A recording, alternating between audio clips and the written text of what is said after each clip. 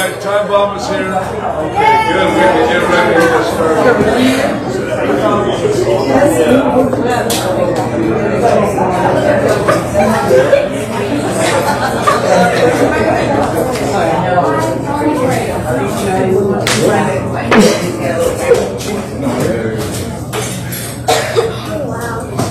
We've got one more front row seat over here. How much? How much?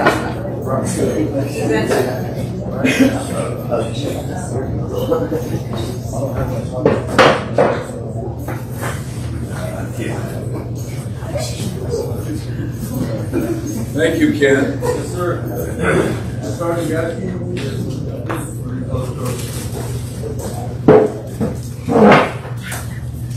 That hairdo, you get in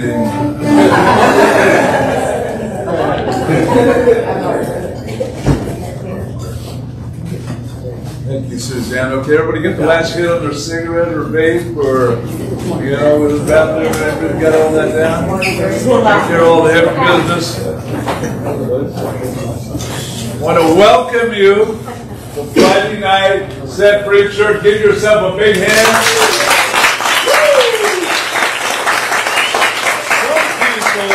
People on a Friday night about this time are heading out to go to some crazy wild party. Yep. Some of you will wait till after we're done to go out to some crazy wild party. Casino. Casino, whatever it might be. But welcome. It's an honor having you here. There's a couple more here. There you go. Open that door. Take care of this lady and her friend. That's it. All right, Michelle. Good to see you. These, who are these kids? These are my grandkids. Beautiful kids. Um, we appreciate taking Hi. Oh my gosh. Michelle, what year were you in Set Free? Oh, goodness. Same here, Shelley. What was that? 87, 88. Yeah, most, most of you were not born, here they were going to church. I graduated in '87. And uh, so, so happy about that. Those of you that are here for the first Friday night, glad to have you here. St. Sandra, uh, Set Free Choir, we called it Posse back in the days, and I think it's revolved around again. You can be a posse nowadays. But just a minute, I'm going to call Free Posse, but I just want to acknowledge that it's a, a real pleasure, honor to have you in our house. Well, this house was built just for this, so we could come together, large groups, and uh, we could get do community together. I believe with all my heart, says it in the Bible, they gathered together in a community. They met in houses. That's how it all started up. The church buildings, all that all came later. But they met in houses and they uh, had meals together. They hung out together. They sang together and they spent a lot of time together, got to know each other. A lot of times, a place sometimes too big that you'll get in there and you become a spectator sport. You just know them from a distance. Don't really get to know the people, but we try to make it where you can come a little early and hang out. You can stay a little bit after. Tonight we're going to perform a little wedding ceremony.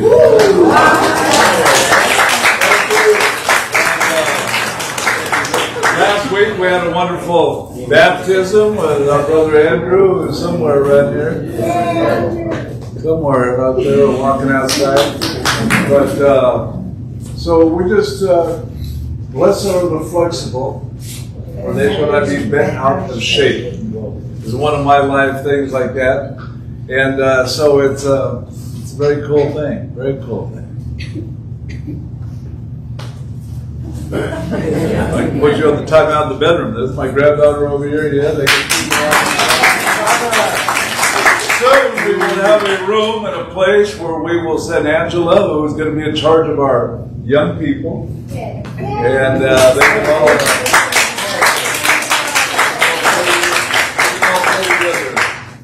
But um, let me just look at you for a moment. Let me pull out my phone here.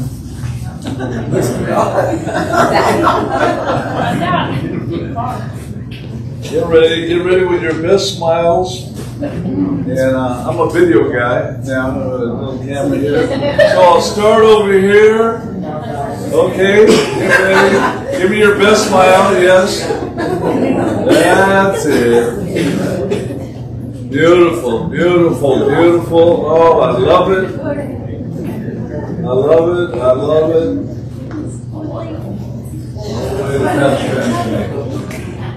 Let me go to the Lord in a word of prayer. Heavenly Father, thank you for each and every person in this room and the families and friends and the people that they represent. May tonight be a night of inner healing, renewing of our mind, and more excited about life than ever. We just thank you for all this. In Jesus' name we pray. And everybody said a big Amen. What would a church have without a choir? We have our own set free worldwide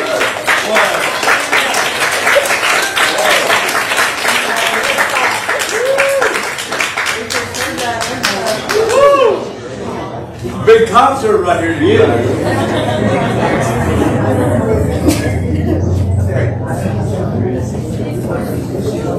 It's not working. Okay, hold on. So, can you guys all stand up?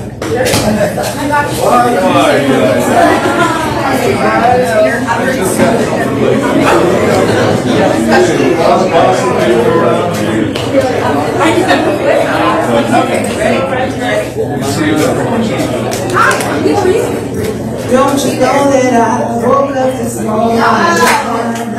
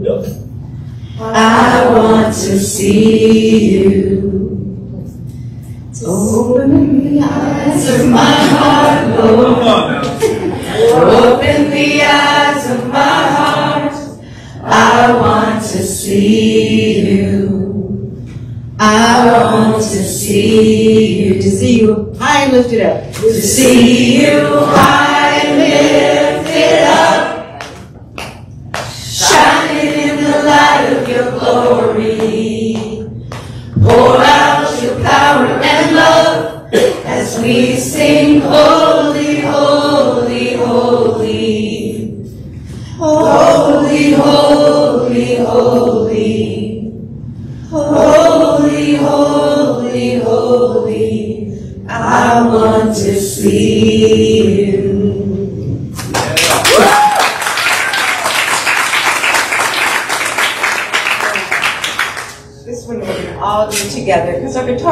So we're going to do this one with music, so you can all sing along with us.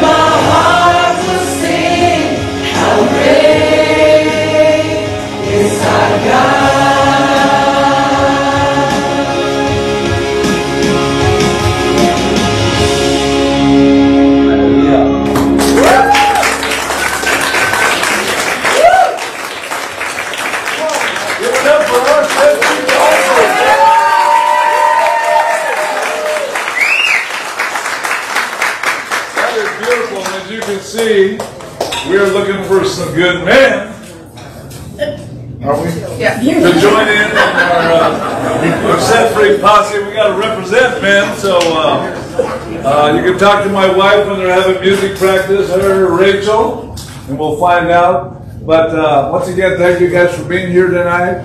Don't forget on our Sunday nights, six o'clock this Sunday night, we do our Sunday night gathering together. And those of you that want even more, uh, we do things like tomorrow, we're taking the group into San Diego to a set free we have in San Diego. And then uh, Sunday morning, for those that even want more, we have a church we go to called New Song Church in South Malibu. And so uh, that's there. And then we'll meet again on Sunday night. This a fun packed filled weekend of good stuff going into our head. As a man or woman thinketh, so are we. So filling ourselves up with good stuff is what it's all about. A lot of us have been in recovery and getting over drugs and this and that. A lot of us that love drugs. Maybe you're here tonight, you got a broken heart. Maybe some fools lied to you, cheated on you, double dating on you. Did they do that anymore? No testimonies right now. So, nights like this, you know, DJ on Sunday night, Pastor Anthony on Friday nights. Let's give it up for our brother.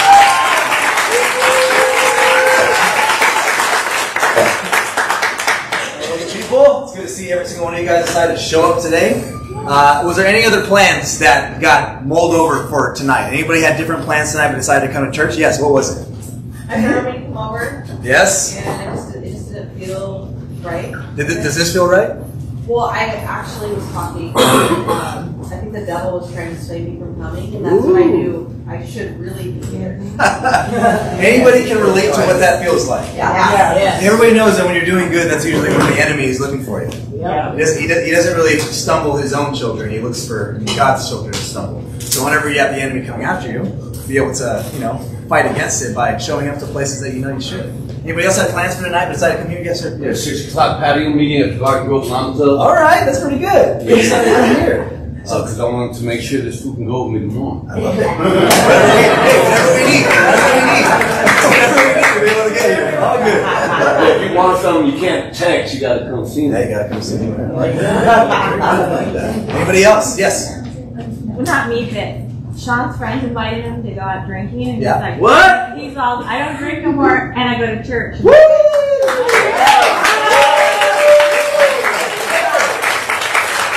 I don't drink no more. Also, I go to church. Those two things are not going to work out tonight. I'm sorry. Yeah, that's great. What I love more than anything is that people decide to actually show up. One thing I learned as a chief is that showing up is one of the hardest things to do in the world. Yeah. that you told me when I asked him, I was like, "How do I get more involved?" He said, "Show up." And I was like, "No, I need like you know everything else." Like, trust me, that's enough.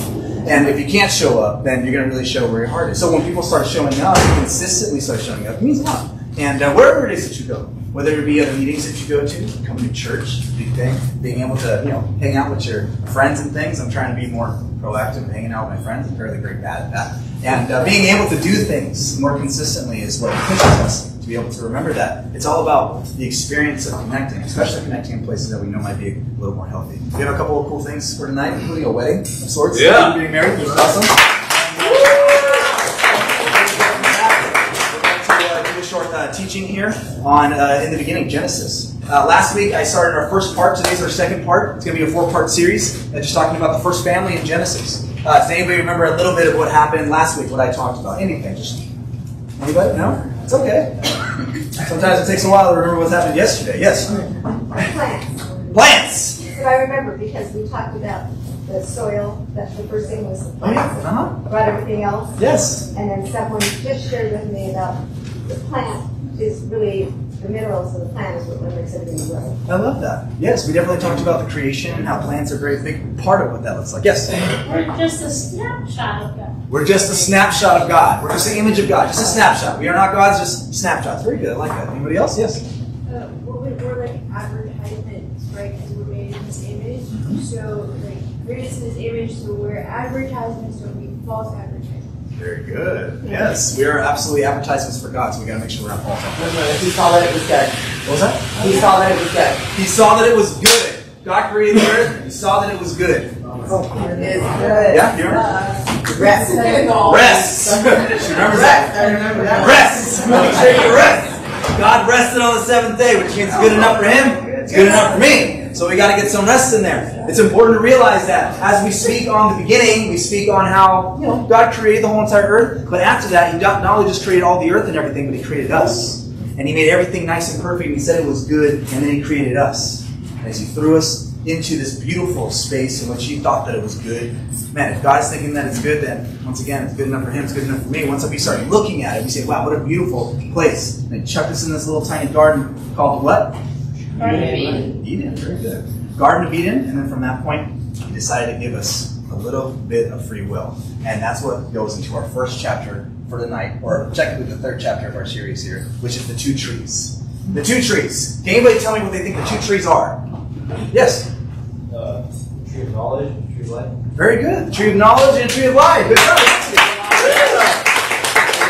Very good. Read our Bible, we learn a couple things. I'm going to open up with a little bit of the scripture that talks about specifically this. There were two trees. He slapped them right into the middle of the Garden of Eden. Both of them in the middle of the garden. And I'll share it with you now. It says right here in Genesis 2 9, the Lord God made all kinds of trees grow out of the ground, trees that were pleasing to the eye and good for food. So they're very good looking trees.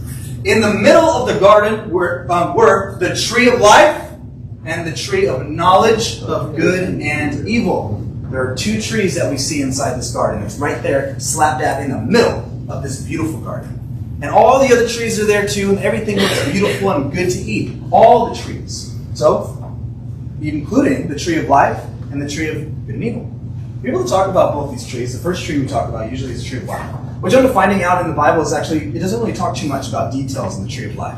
There's a couple times it hits on the tree of life once in a while. It'll hit something like in Revelation, maybe like hit on it once. But in the Old Testament here in Genesis, it only talks about it a couple times. It talks about how it's there to give unlimited life, be able to give uh, everlasting life, if you would. And after the um, the two fell, the fall of man, uh, spoiler alert, they fail. As they fall um, fall out, if you would, God kicks them out of the Garden of Eden so they don't get to the tree of life. So the tree of life, one way or another, is representative uh, long life, true life, what it means to be able to live forever, or more so, to be able to live with God forever. And so, for us to be able to be in the evil space, if you would, when they would at the time, which we'll get to it, the tree of life is no longer attainable to us. The tree of life, like I said, doesn't have really a lot of details what about what it is and what it does, but that's good enough detail for me to understand what's going on. The other tree, on the other hand, is talked about quite a bit. The tree of knowledge of good and evil. This tree here has so many specific, uh, or general, understandings as to what it's there for.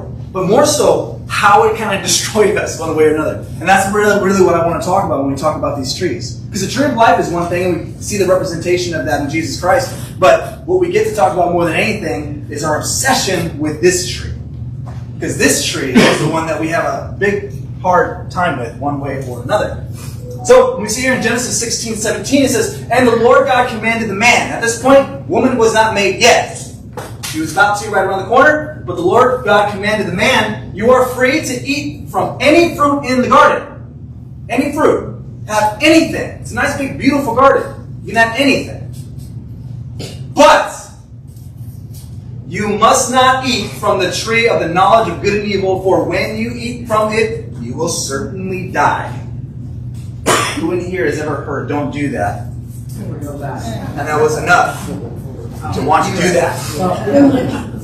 And they even warned you, you will certainly die, and you still did. For some reason, we're attracted to the don'ts.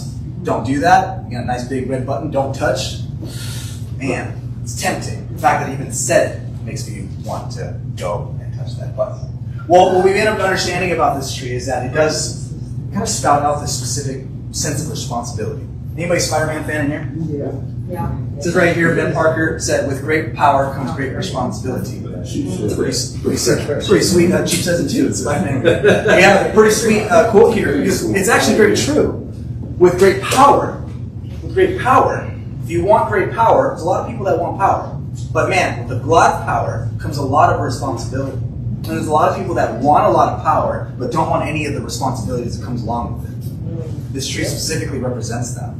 This tree of knowledge of good and evil very much represents a lot of power. And we need to understand that the responsibility that comes along with it, we may not have the chops to be able to understand all the knowledge that comes with it. So what I will say is if knowledge is power, that means that all knowledge is all powerful. Who do you think is all powerful? God. Very good. That means that God being all powerful is also has all knowledge. Do you think any of us in here are all knowledge or all powerful? No. No. So we begin to understand the distance that we have between ourselves and God, just being able to understand how power and knowledge works. We were not built for all knowledge or all power. We were built as inferior. We were not built as equal. We were built as inferior to God. One way or another, so He can take care of us, that we would be able to bank on Him.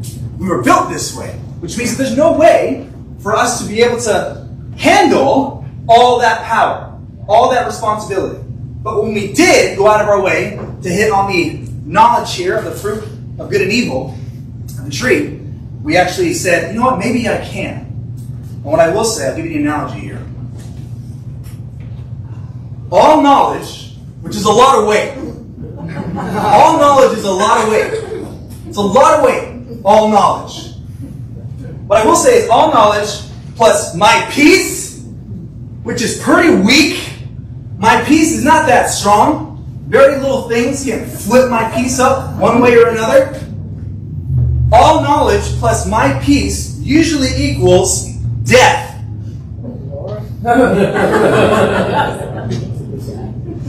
what I do know is that, man, as somebody who has relatively weak peace, knowing that I have inferior peace, I still ask for a lot of knowledge, asking for a lot of power. Not understanding the fact that I may be completely destroyed with all that weight that lands on me. I was not built as a strong chair. I was built as an inferior chair, especially in comparison to all of that knowledge. It's going to destroy me. So when God said his thing, if you eat it, you will surely die, there is this distance between our understanding. That when it starts happening and I think that I can take on all that knowledge, all that power, eventually it's going to destroy me. And sure enough, anybody in here has ever had a little bit of power, as it grows and grows and grows, it destroys us. Even a little bit that we get tends to destroy us. Begin to understand this tree just a little bit more. The existence of the tree represents free will, though. That's something is super important. People are asking themselves, why would even put the tree in there to begin with? I'm all sitting here and being like, my life would have been so much better if they didn't mess everything up. They didn't just get the tree. Why did God even put the tree in there to begin with? It's because the tree represents free will. This is opportunity to be able to say, I want to know where you're at. I don't want to. I don't want you to feel as though I put you in a cage. I don't want you to feel as though you have no free will. You're just going to be who you are and no autonomy whatsoever. No, I want you to choose. I want you to be able to choose between the two, to be able to do right or be able to do wrong. The tree itself represents free will, the ability to choose. I've asked this question before in some of our groups. Who proves strength? The alcoholic who is caged and doesn't drink? stuck in their house, no alcohol whatsoever, just stuck in this place. Maybe they're stuck in prison, no drink, nothing. And they don't drink. Good job. Or the person who has free, the alcohol who has freedom and doesn't drink. Who proved more strength? It's freedom, right?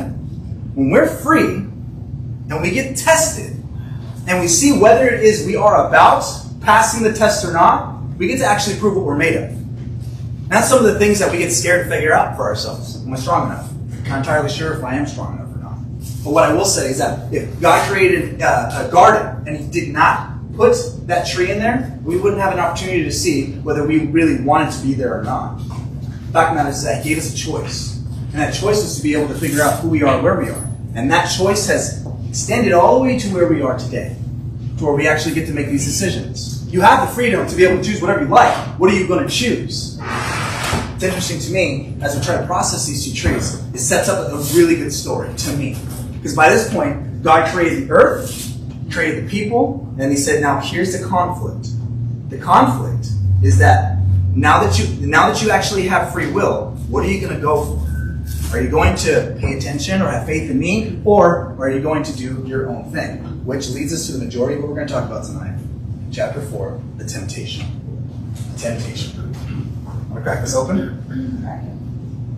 What are some temptations? Women. Women! Very good. Men! Men! Very good. Money! Money. Very good.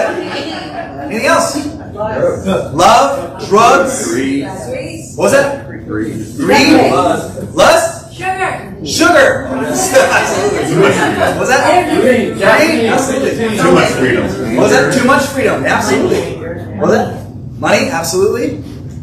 Energy drinks, very good. We have all kinds of temptations that come our way. Temptations are constantly coming our way, and most of the time, it's e- one or two um, subjects. It's either power or pleasure. Everything that everybody said it either falls in one of those two categories. We're pretty predictable as people. When we begin to understand that temptation is something that is common, that we all are tempted all day long, all the time, it's up to us to be able to see are you actually winning against temptation or not? We are very familiar with temptation. That's why when we read the story, it shouldn't feel like it's too far off. It should actually feel right at home. So let's talk about this story here. Now, the serpent was more crafty than any of the wild animals the Lord God has made. First thing we realize that serpent is crafty. The enemy is crafty. Out of all the wild animals, God has made all of them, including the serpent, which is interesting to think about. But he was crafty. Craftiness is usually what messes us up one way or another, right? We have a lot of faith one way or another, but at the same time, people that get crafty is the ones that get in our head one way or another if we are not paying attention to those things. He said to the woman, this is being the serpent, Did God really say, You must not eat from any tree in the garden? Did God really say? It's a question. Once, once, what we already know is that He knows. He knows that God said it because He's the one who quoted it. And He asked the question Did God really say? Did God really say? Did they say that that was bad? Is that what they told you? That it was bad?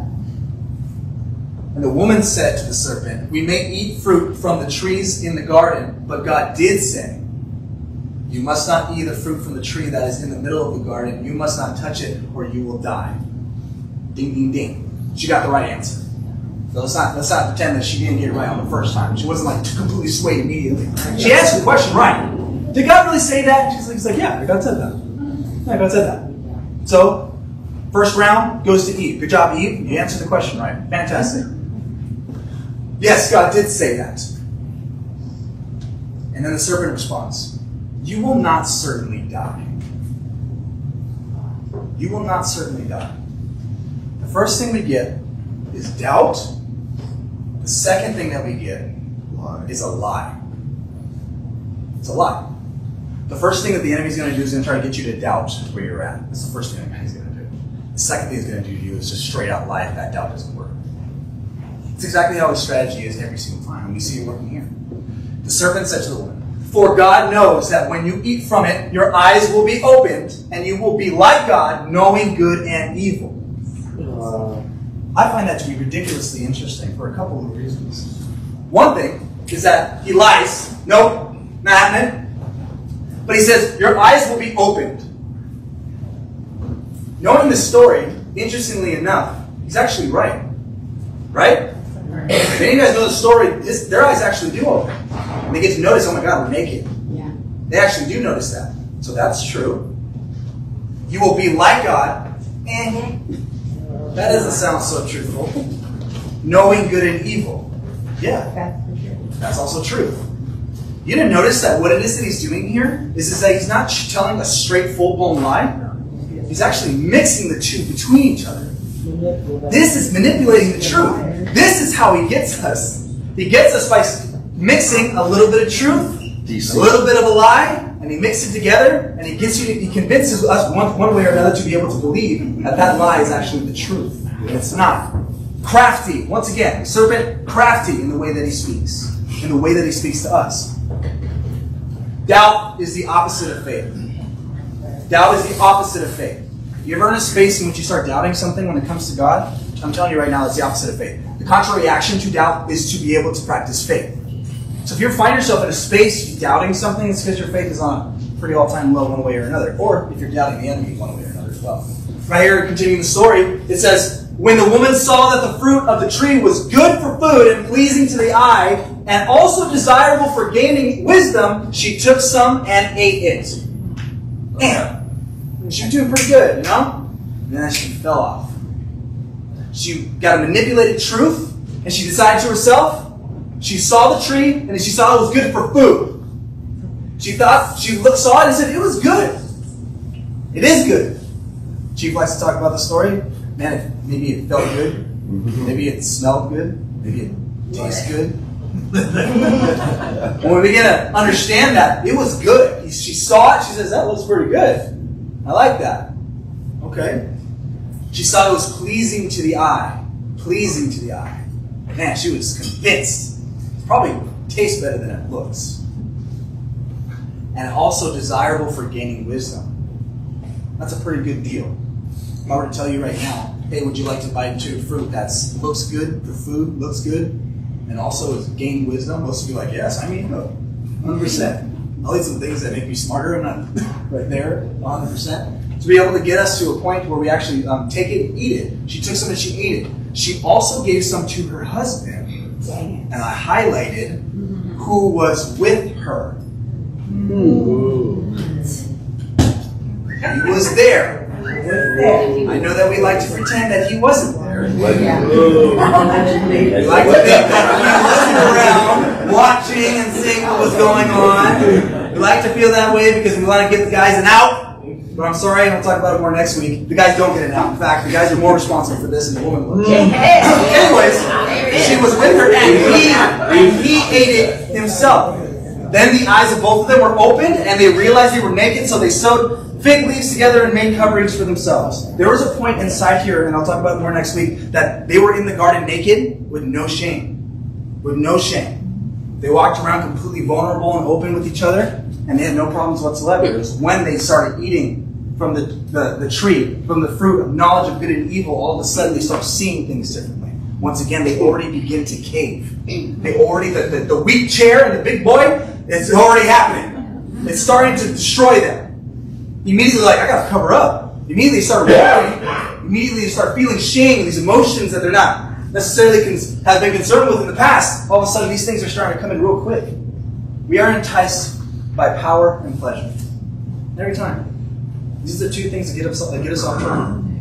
It's power and pleasure. And there's almost nothing else. It's just these two. When you think about the things that you want, you think about the things that take you off track, it usually is one of the two, which is so very interesting. when I read this story, I truly, honestly believe to myself that Adam and Eve story is dumb. I remember reading this when I was younger, and man, this is such a dumb story. This is a dumb story because you like you read it and you're like, that's that's all it was. They ate a fruit because you're like this dude who's just like, hey, maybe maybe you won't die, and I'm like, okay, and they eat the fruit and that was it, and then we were all have to deal with the punishment after that. That was a dumb story to me. I think that story is dumb. As I've gotten older, I come to realize something else. Your story is also dumb. I come to find out that my story is dumb too. Yeah, people look at me and say, "You stayed in that relationship for how long? Why? That's so dumb." Look at us, the dumb decisions that we made, and like people are looking at you and be like, "Why would you do that? That sounds so dumb." I get to hear a lot of people's war stories, and I'm like, "That sounds so dumb. Why would you do that?" And I'm like, "Oh, you just did the thing." I'm like, well, "That's such a dumb story. This is our lives. Our lives are just a combination of dumb stories." And so then we go and judge Adam and Eve for being having a dumb story. We're like, dude, you don't get it. I know you get it." It's, it's convenient for us to say, I would never fall from that. Yeah. Convenient is that we land in a space like that and think that to ourselves. The fact of the matter is that we are that dumb. We are the seed of Adam and Eve. We have the same exact problem. We do want power, we do want pleasure. And we want it more than the peace of God, which is very interesting. And it sucks that we have to live through that. But the fact of the matter is that we're enticed by the same types of things. Right here in James 1 13, 15, it says, When tempted, no one should say, Good warning for everybody here. No one should say, God is tempting me. Sorry, it's not God. For God cannot be tempted by evil, nor does he tempt anyone. But each person is tempted when they are dragged away by their own evil desire and enticed Amen. by you. This was your fault, not his. Anytime that you are tempted, that is your fault. Then, after desire has conceived, it gives birth to sin. And sin, when it is full grown, gives birth to death. When God said, You will surely die, you will die. And the enemy said, You won't surely die. The enemy was saying, You're not going to die immediately. Yeah. You're not going to die like immediately. But the fact of the matter is, no, you will die. Because what happens is that your desire takes you away from God. And when that desire conceives, desire begins to sit there longer, you don't cut the desire out, you don't mess with that temptation that's floating in your head, you don't do anything about that, eventually it's going to give birth to sin. That's right. You start acting on these desires and you start doing real dumb things that are hurtful to you and hurtful to others. And you, the longer you do that and you let that grow, then eventually, when it's full grown, it gives birth to death. And your death because it messes with a lot of things having to do with people around you as well. My father died uh, when I was 21, alcoholic. And when he died, it kind of had a shift, uh, um, we'll say uh, a ripple effect through our family. And it was rough. It was rough to have to go through that. But his journey of his alcoholism started when I was, before I was born, but he was sober for a second. And started when I was 14 to 21. It's not a long time. It's not a long time. But we got to see the slow burn before the actual death itself. Mm. We got to see the desire itself turn into sin. We got to see the sin when it was full grown mm. turn into death. We have a lot of opportunities to be able to get out of these situations. And it starts in the desire stage. I really want that. You won't say it out loud most of the time. I really want that. That want that, whatever that is, and it's away from God, then what's going to do eventually? It's going to give birth to sin. You're going to start acting on it. At one point, you're going to look at it, you're going to see that it's good fruit, it's good for eating, pleasurable to the eye, and you're going to say, I'm going to actually do something about it. And that was the sin. The second that we eat it is when it's like, this is now this constant growing of death. And that's exactly what happened to them. Life and death is a choice. Life and death is a choice. We start living today, and we also start dying today. Whatever it is you choose to do with yourself, it starts today. Some of us, a lot of us think that, oh, I'm not going to die until I'm dead. That's not true. You can start dying today. Mm. You can start dying today.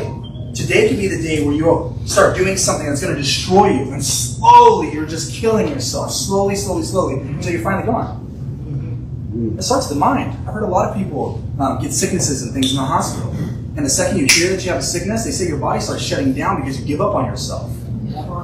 We die because we give up on ourselves. Sometimes consciously or subconsciously, but we're giving up on ourselves. Wow. We don't love each other enough, or uh, love ourselves enough to be able to give ourselves a fighting chance. Sorry for my weird references, but God speaks to create. You'll notice that, right? God speaks to create. In this Genesis, He spoke everything into existence. He speaks. He doesn't have to do much of anything. He just speaks it into existence. The power of speaking. Well, you know what? The serpent speaks to destroy. Do we see the serpent do anything? The serpent grab the, the fruit and shove it down her throat? No. He only spoke. He just spoke. And things fell apart. And the world was destroyed. Humanity was doomed. And all he did was speak. God speaks to create. The serpent speaks to destroy. And who are they speaking to? They're speaking to us. We are the tools of life and death. We are. We're the ones that the hands and the feet that get things done around here. It's just influence between God and the serpent, and they're just trying to get you to do what it is that they're trying to do. And one of them has life, and one of them only offers death. And it's entirely up to us about how it is we're going to handle that. We are just tools. So, what kind of tool are you? You ask yourself, what kind of tool am I? Am I a tool that creates, or am I a tool that destroys? When I begin to notice who it is that I am and where direction that I go, I begin to figure out who I'm actually listening to, because that's all that it is. Who am I listening to? It's not specifically about who's making me do something. No, it's who am I listening to? Who's getting me to do what? What direction am I going? As I look through these two trees, you're looking at them, you see the tree of life and the tree of knowledge. Between the two, the new age version of the tree of life is Jesus Christ. If you want to live eternally, if you want to have everlasting life, it is through Jesus Christ. And that everlasting life starts today. We've talked about it many a time. When he calls the kingdom of heaven to come down here on earth as it is in heaven, he's talking about the characteristics of God starting to live now. Yes. So the unlimitedness and the power of God can start now. We don't want to sit here and wait till we're dead and then the Jesus things can start. No, they start now. As we allow God to be able to work in us, we begin to see how much life is actually pushed into ourselves. We can see that. So the New Age version of the tree of life is Jesus Christ. And the new age of tree of knowledge is power in literally any form. Power in any form. Remember, what she wanted was the wisdom. She wanted to know more. She wanted to do more. She wanted more power. Any version of power that it is you want right now is the new age version of that. Because the opposite of this power is being able to lean in on a God who's going to give you direction. Instead of me having power, I need God to have power. But you make a decision. Who has power in your life today? Is it you or is it God? When we begin to, again, audit ourselves and look at ourselves and saying, who am I listening to? Well, we'll notice is God will speak through things like family, friends, celebrities, pastors, leaders, teachers, movies, music, books, internet, algorithms, and the Bible. You see God using all kinds of things to speak to us. A lot of us have a super Christianese Facebook and Instagram. All I get ever is Christian stuff all day long. Some of us are literally on the opposite side of that. Some of us are looking at or reading our Bibles every day, listening to podcasts every day. It was like, man, God is really kind of using a bunch of different things to be able to get to me. How grateful I am to be able to have all these things that He's using to be able to lift me up. I'm very grateful for that. I'm glad that God speaks to me through all of these different avenues. I think it's great. When we look over at the serpent, you know what he'll speak through? The exact same thing. The exact same thing. What you begin to understand is everything it is that you have that is like, oh, oh, God always speaks to me through the pastors. Yeah, the enemy speaks to the pastors too. God can speak to us through the teachers and the celebrities and the friends and the family and the Bible. Did you know that in the Bible it talks about how the serpent used the Bible against Jesus Christ, or at least tried? The enemy knows your word better than you do, I promise that. And as the enemy knows these things, he knows what God said. We saw that in this story. You see, you see, you see the serpent saying, Did God really say this, this, and that? He's like, what the heck? Where did, you, where did you learn about that? Just slithering around listening to God and like, okay. We'll see what I can mess, how I can mess with these guys. Yeah, the serpent, he's listening to God too. So when he decides to use the Bible against us, if you're not tooled up, he might win. We're sitting here and we're listening. We're just listening, listening, listening. We get to a point where we just start trusting these things, not understanding there needs to be some sort of wisdom that exists in between. Because as both of them speak, strong speaking, we have to be able to understand within ourselves because we understand. I think I know and I understand that I probably am a bit weaker than the enemy. And then I think to myself, probably am weaker than God. If that's the case, and I come to that realization, then maybe I need a little help when it comes down to actually making the differences between is that from God or not? I have people all the time coming in and say, God said.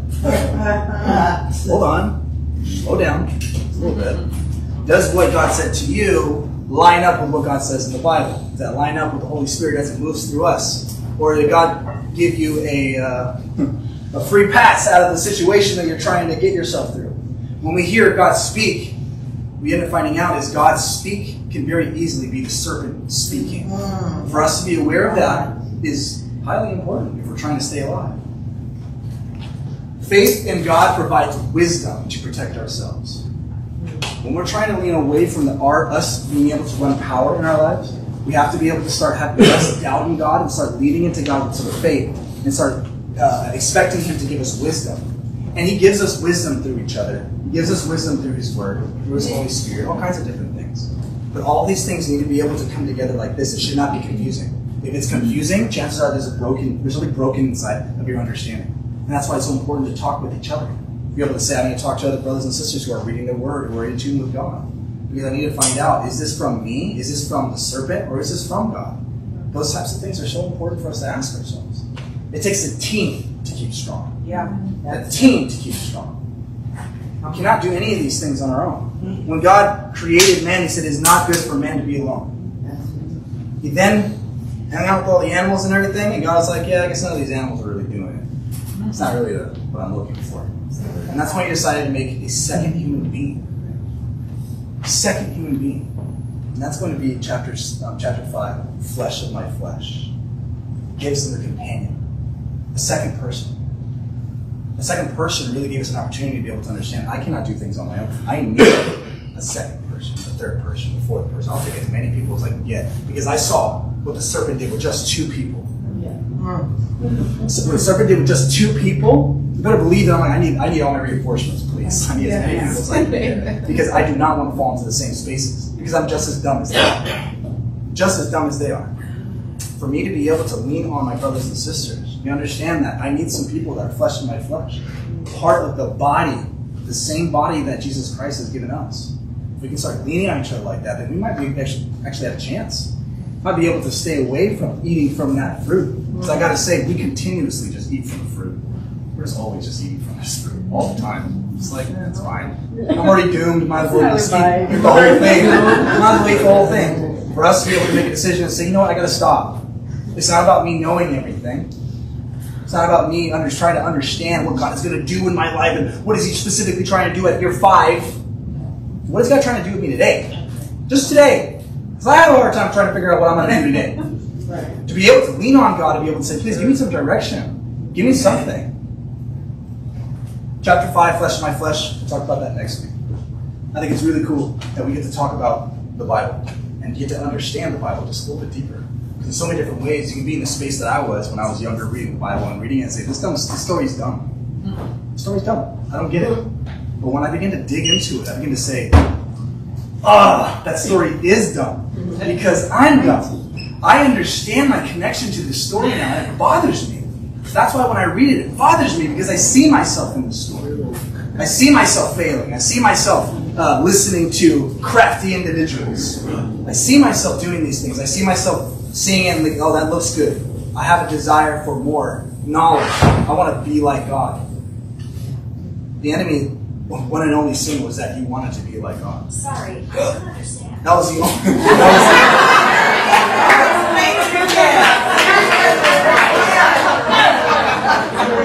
That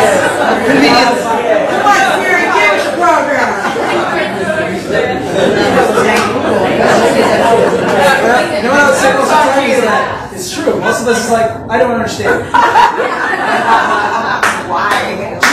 About this before. It's not that you understand it. The Bible's actually really easy to understand. It has nothing to do with your understanding of it. It's like, I don't like that. I don't like that. I don't like that. Love your enemies? That's not very hard to understand. Yeah, but who's my enemy and who's my friends and who is my neighbor? It's like, yeah, yeah, yeah, I know what you're doing. Yeah. Yeah. Well, you need to you need to dig into what it means to be able to just do what you're told. Stop eating of the tree. Don't eat the tree. Hmm. Yeah, but will, will I really die though? Is that is that are you sure? Once we start questioning God and His will for us and the direction that we can go, we start losing ourselves real quick.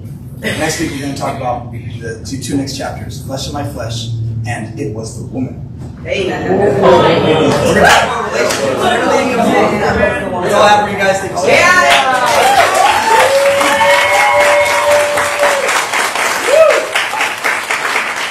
Let me close with this.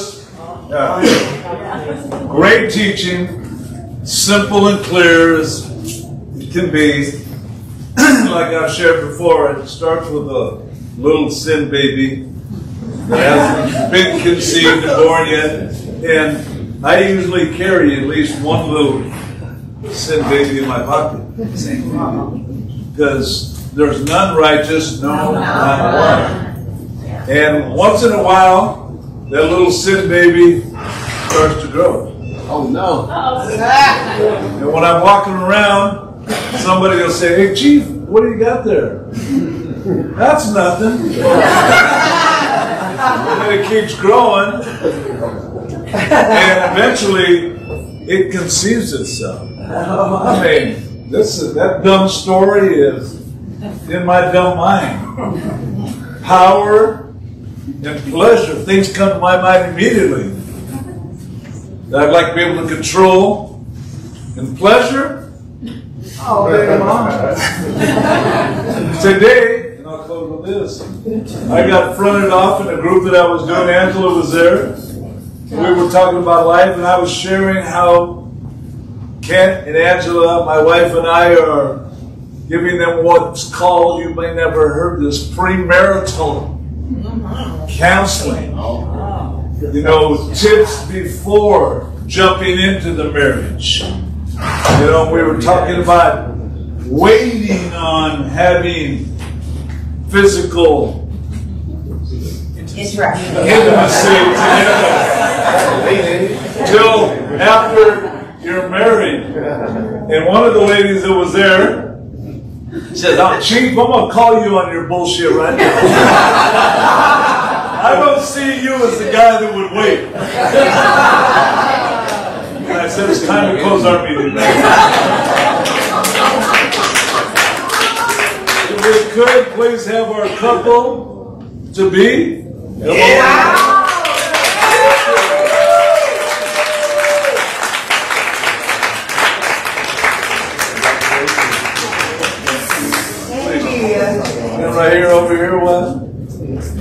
Okay, where's our videographer? Zoe? You on duty? You want to make sure that I let people know that the first counseling session after marriage is watch your video. There were no guns pointing your head. Like Pastor Anthony said, in the garden there, nobody forced Eve. Wasn't like that. But whoever's got our ear, got our future. It's, it's that simple but that difficult. Uh, give us your name to everybody here so everybody knows who you are. Kateri. Terry, give us your name. Wesley. Woo! The two of you have made a decision, a choice to want to become husband and wife. Yeah.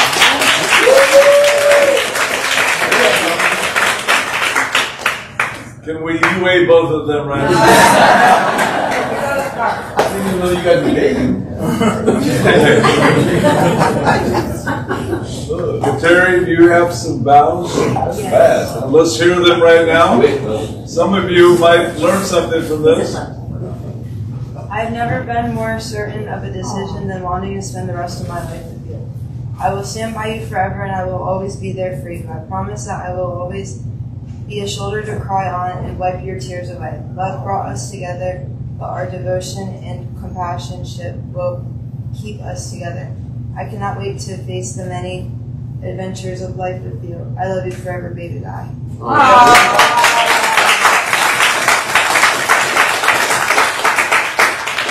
Right from the Bible today, we've, allowed, we've all done a lot of dumb things in our life. We've made choices in our life. And all of us can look at others and think, boy, what a choice, what a.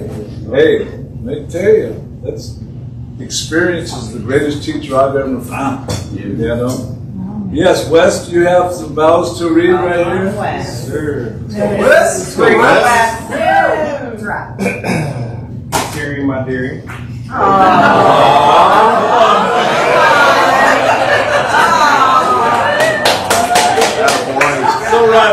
it, I like it. No, Wesley. You fear me.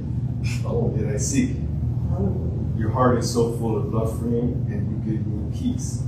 You give me, you give me comfort. You share love for me.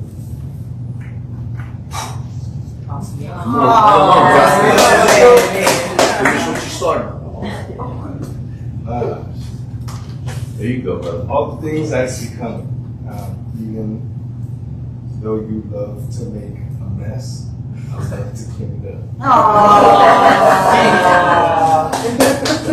That's why I think we work because you're good at helping me clean me up. Um, it's funny because you wrote something that I also wrote.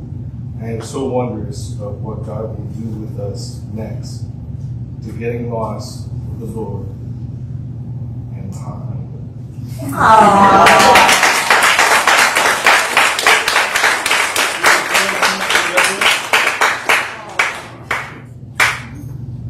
Because the two of you have made a commitment that you want to be together and spend the rest of your whole lives together, uh, by the power invested in me, by the state of California as a licensed preacher, but more importantly, by the power invested in me, given to me by the Lord Jesus Christ, Amen. is one of his tools. I now pronounce you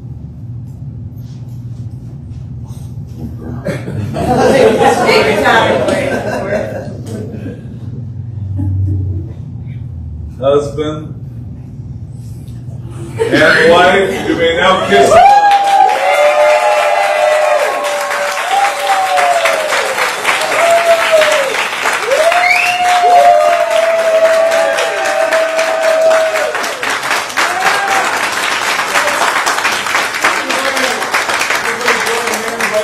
at, right where you're at. Join hands.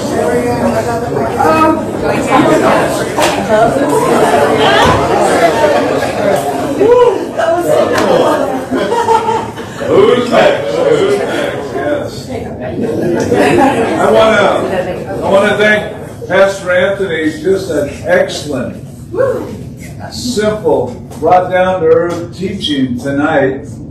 And uh, like I said, they had a chance. They had it all, but they chose to want to make their own moves. And all of us tonight, we have a chance. Choices, the choices we make. So that was a wonderful message. And the two of you coming together, choosing you guys want to become one. Hey, what a blessing. What a blessing. And you're going to be heading out to Florida? Yeah. I'm gonna take Yeah, okay, yeah. It just, uh, hey, everybody here, it's an honor to know every one of you that are here. And we're all going to be making choices. And it's a beautiful, like the choice to be here tonight. What a cool thing that you're here. And it's not a small thing. Pastor Anthony and myself are always excited about it because tonight you've got some wisdom in there. Now the enemy, enemy's been outside that door right there doing push-ups. Mm. Right. Waiting for us to walk out. That's why you got to be in the gym. Yeah. Waiting there to tell us, like I says, come on, did you you buy all that Bible stuff and uh, putting seeds of doubt in your head in my head, Amen. and we got to stay focused. That's right. And it's not that easy for me to stay focused in this world. Power and temptation, pleasure, everywhere. Man, I hang out with Angela. psh, Man, I want to eat all the time. Man. oh my gosh. And uh, Sarah, and uh, proud of you two guys. Amen, brother. Just, Sister. taking it to another level, you know, and uh, hey, we find our yeah. People thought Sandra was crazy when she married me in prison. Some people Kind of crazy, though. but we do some dumb looking things, and sometimes those dumb things are good choices we make. So, Terry West, my prayers are for the best for you guys. Amen. Yeah. And everybody that's here, this, uh, this message, like it says, good message, good, good stuff. Um, as I close in prayer here, I'd like to uh, have different people pray. Where is Pastor Rachel at? There she is. Could you pray real loud so I can hear hear you over here? Is this loud enough? Outside voice. Come on, we know you got a louder voice. Step so low there. God, we come before you humbly. We just want to thank you so much for this space. God, we thank you for the opportunity to be a part of the body. Uh, God, we just pray that this moment together, and as we continue to fellowship with one another afterwards, that it continues to be edifying. God, that as we go through our lives, that our faith in you continues to grow and not our doubt. God, I pray that our spirits are of love, power, and self-control, and not of fear. So God, again, we just thank you so much for this space. We thank you so much for your presence being here. In Jesus' name we pray. Amen. Amen.